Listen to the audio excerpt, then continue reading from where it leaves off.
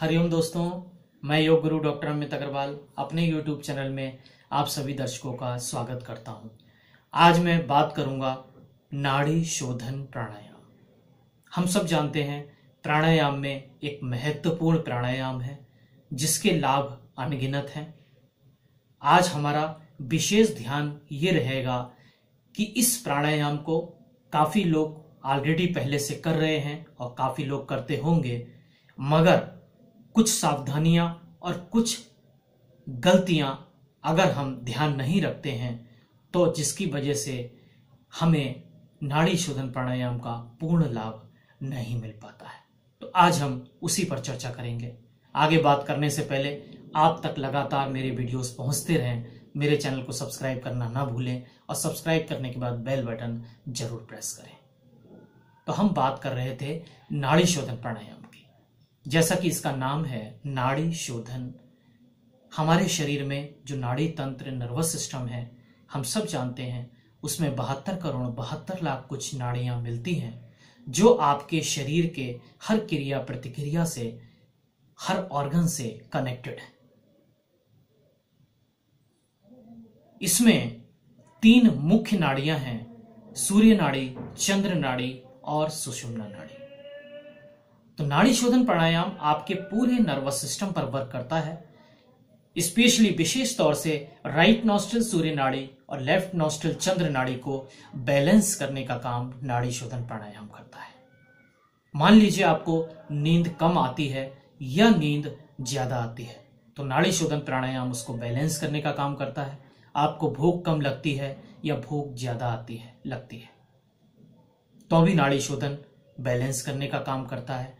इसके अतिरिक्त आपका स्ट्रेस लेवल बढ़ा हुआ है, आपका एंग्री लेवल बढ़ा हुआ है, या हार्मोनल प्रॉब्लम, चाहे थायराइड की हो, पेंक्रियास से रिलेटेड हो, ब्लड प्रेशर हो, इन सब में नाड़ी शोधन प्राणायाम के ज़बरदस्त लाभ हैं। नाड़ी शोधन प्राणायाम अधिकतर सभी रोगी कर सकते हैं। बस इसको क्या सावधानियाँ और क्या गलतियाँ हम करते हैं, उसको ध्यान रखते हुए आगे बात करते हैं। सबसे पहले मैं आपको बताता हूँ कि नाड़ी शोधन प्राणायाम किस तरह करते हैं। देखिए लेफ़्ट हैंड बिल्कुल रिलैक्स के साथ आप घुटने पे कलाई से रख लीजिए। हाथ को चिन्ह मुद्रा इंडेक्स फिंगर और थम को टच करते हुए रिलैक्स के साथ रखिए और राइट हैंड से राइट नोस्ट्रिल पहले बंद करेंगे। लेफ़्ट से श्वास लेते हुए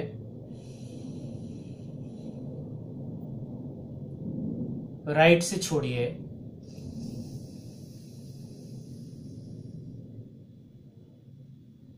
फिर लीजिए।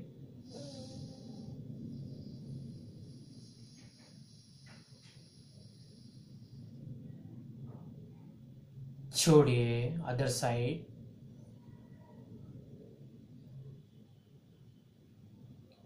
ये देखिए, एक सर्किल अर्थात एक चक्र हुआ। आपने लेफ़्ट से स्टार्ट किया राइट में छोड़ा, फिर राइट से लिया और लेफ़्ट में छोड़ा। नाड़ी शोधन प्राणायाम में विशेष रूप से ध्यान रखते हैं। हमेशा लेफ़्ट से ही स्टार्ट करते हैं और लेफ़्ट नॉस्ट्रिल पर ही एक्सेल करते हुए स्टॉप करते हैं। अब अगर हम गलती की बात करें तो देखिए इसमें क्या गलती करते हैं। नंबर एक तो कई बार हम लोग पॉस्चर पर ध्यान नहीं देते। देखिए, अब मैं इस पॉस्चर में सीधा बैठा हूँ और जनरली लोग किस तरह करते हैं? शरीर को ऐसे ढीला छोड़ दिया जो कि गलत पॉस्चर है। आपको रीढ़ की हड्डी को सीधा रखना है। पहले भी हम बात कर चुके हैं रीढ़ की हड्डी में, जो आपके चक्रास मिलते हैं। उन चक्रास पर एनर्जी का फ्लो प्रॉपर नहीं हो पाता। तो इसलिए प्राणायाम में रीढ़ की हड्डी का इरेक्ट रहना बहुत ज़रूरी है। नंबर दूसरी बात, हाथ को हम लोग क्या गलती करते हैं कि बहुत ज़्यादा तान लेते हैं। उसमें क्या होता है कि नाड़ी शोधन प्राणायाम का अगर आप समय बढ़ाते हैं तो हाथ आपका या तो कंधा दर्द करने लगता है, या हाथ जल्दी थक जाता है। तो ये विशेष रूप से ध्यान रखना है, हाथ को बिल्कुल रिलैक्स के साथ रखिए। और अगर आपका थोड़ी देर बाद हाथ थक जाता है तो आप दूसरे हाथ से इस हाथ को सपोर्ट भी दे सकते हैं। देखिए।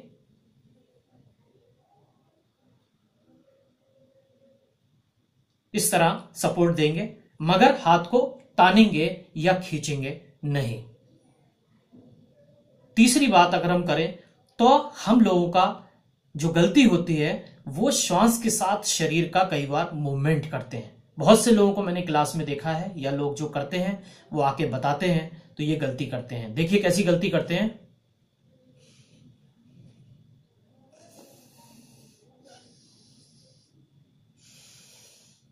ये इस तरह। तो प्राणायाम में स्थिरता बहुत इंपॉर्टेंट है। आपका शरीर बिल्कुल स्थिर रहे और आपका मन पूरी तरह श्वासों पर एकाग्र रहे।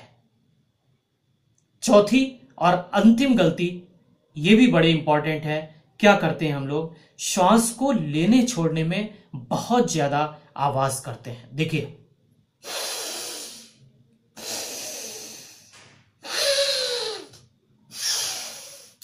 काफ़ी लोग इस तरह करते हैं। तो हम लोगों को ऐसे भी तनाव के साथ एग्जर्शन के साथ श्वास को नहीं भरना है।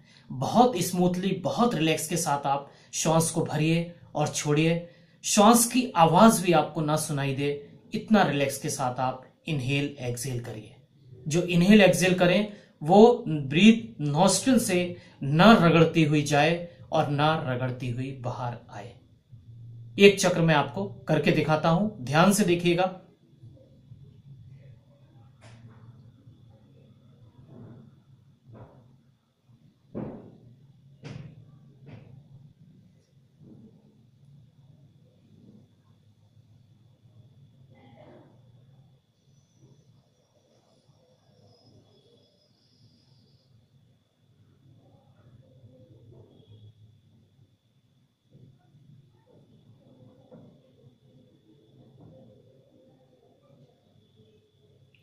पॉस्चर पे आपने ध्यान दिया ब्रीथ पे ध्यान दिया।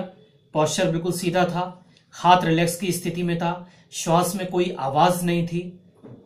और अंतिम बात जो मैं करूँगा, वो ये कि प्राणायाम में करते समय आपकी एकाग्रता श्वासों पर ही होनी चाहिए।